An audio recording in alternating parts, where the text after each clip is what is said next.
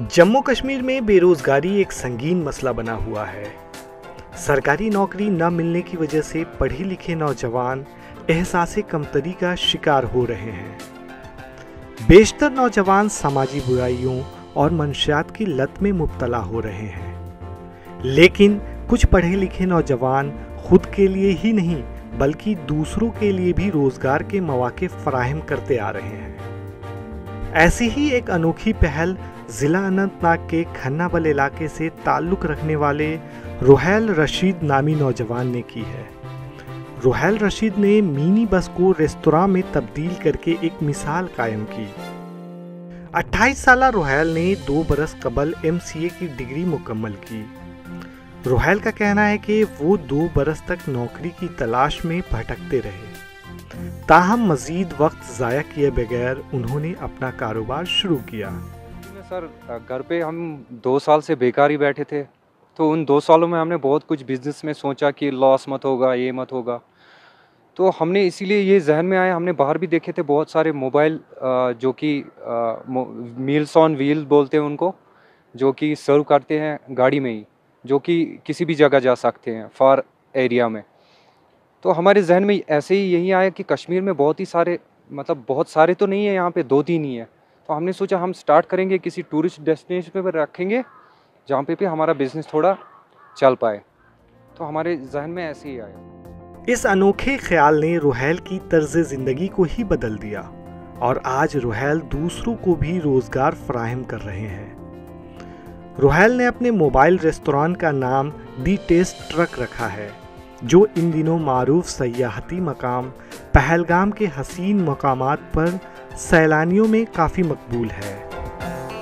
रोहल ने ख़रीदारों को रागिब करने के लिए अपनी मिनी बस को सजाकर दीदा जेब बनाया है। उन्होंने बस के अंदर एक छोटा सा किचन नस्ब किया है, जिसमें फ्रिज, वॉश बेसिन व दीगर कई सहूलियात भी दस्तियाब हैं। सर, जो पूरा मॉडिफिकेशन का आइडिया था, वो हमने अभी पूरा, पूरी तरीके से अच्छा नहीं किया अभी। जितना भी हमें माइंड में था, लेकिन जितना भी हम कर पाए, उतना किया हमने सर। तो हमने दो बंदे रखे हैं, जिनकी हमने सैलरी भी रखी है अच्छी खासी, उनको भी हम रोज़गार दे रहे हैं सर। और आगे जाके भी हम जब अपग्रेड करेंगे, जब हम दूसरी बस लाएँगे तो उसमें भी डेफिनेटली हम दो तीन बंदे को एम्प्लॉयमेंट रखेंगे। रोज़गार देंगे रोहैल ने मोबाइल रेस्तोरां की शुरुआत पहलगाम में की है। रोहैल पहलगाम में सयाहों को मुख्तलिफ़ अकसाम के फास्ट फ़ूड बिरयानी, चाय, कॉफ़ी व दीगर मशरूबात फ़रोख्त करते हैं। इस अनोखे रेस्तोरां को सयाह काफ़ी पसंद करते हैं। सयाह रेस्तोरां पर दस्तियाब मुख्तलिफ़ अकसाम के अशिया शौक से खाते हैं और रेस्तोरां के मालिक रोहैल के इस अनोखी पहल की खूब तारीफ़ें करते हैं। जब मैंने देखा ना यहाँ चाय की दुकान तो अच्छा लगा मुझे। कम अज़ कम जो यहाँ से जाएगा, कम अज़ कम he can have a cup of tea ज़्यादा, ये अच्छी बात है। और ये मतलब सेल्फ एम्प्लॉयमेंट है। इनको भी कहेंगे बेकार लोग थे तो इनको भी अच्छा लगेगा। दे विल अर्न समथिंग तो ये अच्छी बात है इनके लिए। मुझे बहुत ही अच्छा और अनोखा लगा इनका ये जो पेशा इन्होंने इख्तियार किया है। मुझे बहुत अच्छा लगा ये। और चाय भी बहुत बढ़िया है। ये एक गाड़ी में इन्होंने चाय का दुकान, चाय की फैसिलिटी रखी है, कॉफ़ी की। अच्छा और फास्ट फ़ूड है, बाकी आइटम्स है। ताकि कोई परेशान ना हो जाए। हर आराम मिले खाने पीने की। मैं अप्रिशिएट करता हूँ उनको बहुत ही अप्रिशिएट करता हूँ। रोहल का कहना है कि वो मुस्तकबिल में इस कारोबार को मज़ीद फ़रोग देने की कोशिश करेंगे ताकि बेरोज़गार नौजवानों को रोज़गार फराहम किया जा सके। हमें यहाँ पे जो फ़ीस है वो थोड़ा एक्स्ट्रा ही मिलता है। हमें फाइव हंड्रेड रुपीज़ पे करना पड़ता है पर डे का।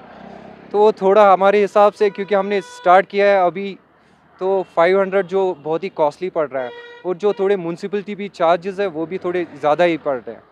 तो वो भी थोड़ा हमारे लिए, हम हम तो अनएम्प्लॉयड यूथ है तो हम तो कुछ जब करेंगे तो सरकार को हमें हेल्प करनी चाहिए इस इस मामले में।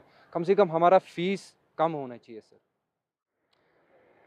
ऐसे नौजवान उन पढ़े लिखे नौजवानों के लिए एक मशल राह हैं जो सरकारी नौकरियों के पीछे अपना वक्त ज़ाया करते हैं या फिर समाजी बुराई और मनुष्यात की लत में मुबतला हो रहे हैं।